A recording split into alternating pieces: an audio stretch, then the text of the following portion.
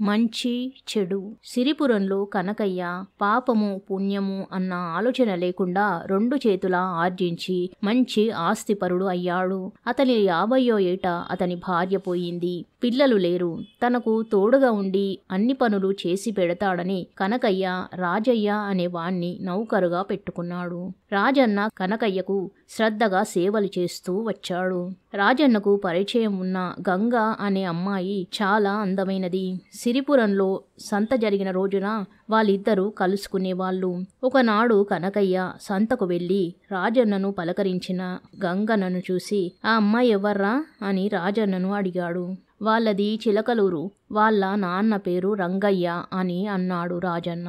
కనకయ్యకు గంగను పెళ్ళాడి మళ్ళీ సంసారం చెయ్యాలనిపించింది అతను పెళ్ళిళ్ళ పేరయ్యను ఒకణ్ణి రంగయ్య వద్దకు రాయబారం పంపాడు.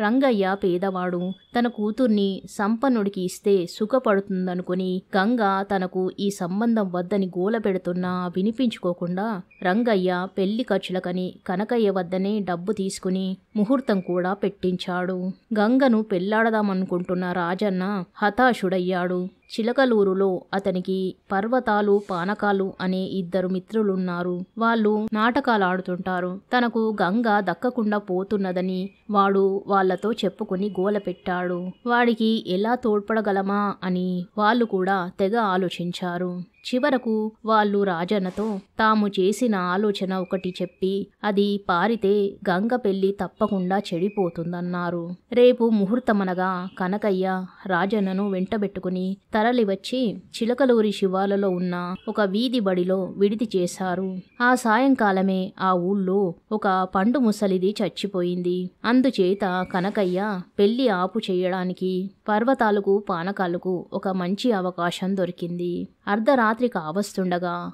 పర్వతాలు యమధర్మరాజులాగాను పానకాలు యమకింకరుడులాగాను వేషాలు వేసుకున్నారు. పర్వతాలు ఒక దున్నపోతు మీద ఎక్కాడు. ఇద్దరు వీధి బడికేసి వచ్చారు.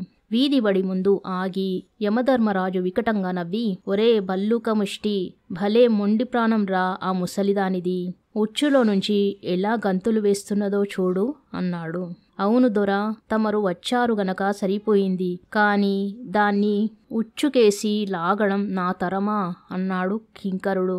ఈ సంభాషణ విన్న కనకయ్య కిటికీ తలుపులు తెరిచి యముళ్ళను చూసి కొయ్యబారిపోయాడు. యమధర్మరాజు తన కింకరుడికేసి చూసి ఓహో సిరిపురం కనకయ్య వీడి ఆయువు ఇంకో వారమే ఉన్నది. ఏడో రోజున వచ్చి వీణ్ణి ఉచ్చులో పట్టటం మర్చిపోకు అన్నాడు. చిత్తం మర్చిపోనుదురా అన్నాడు కింకరుడు. ఇద్దరు ముందుకు సాగి చీకటిలో కలిసిపోయారు. కనకయ్య హడలిపోయాడు. అతను రాజన్నతో ఒరే వాళ్ళ మాటలు విన్నావు కదూ? వాళ్ళు ఎముల వాళ్ళేనా అన్నాడు. ఎముల వాళ్ళ? నాకెవరూ కనబడలేదే అన్నాడు రాజన్న ఆశ్చర్యంగా. కనకయ్య ఆ రాత్రి నిద్రపోలేదు. ఇంకో వారం రోజుల్లో చావబోయేవాడు తెల్లవారి పెళ్ళిపీటల మీద కూర్చోవడం దేనికి? ఒకరి బ్రతుకు బస్టు చేయడం దేనికి? మర్నాడు ముహూర్త సమయంలో కనకయ్య పెళ్ళిపీటల మీద కూర్చోలేదు. రంగయ్య పెళ్ళి నాకెందుకు గాని నీ కూతుర్ని మా రాజన్నకియ్యి అన్నాడు. వేలాకోలానికైనా హద్దుండాలి.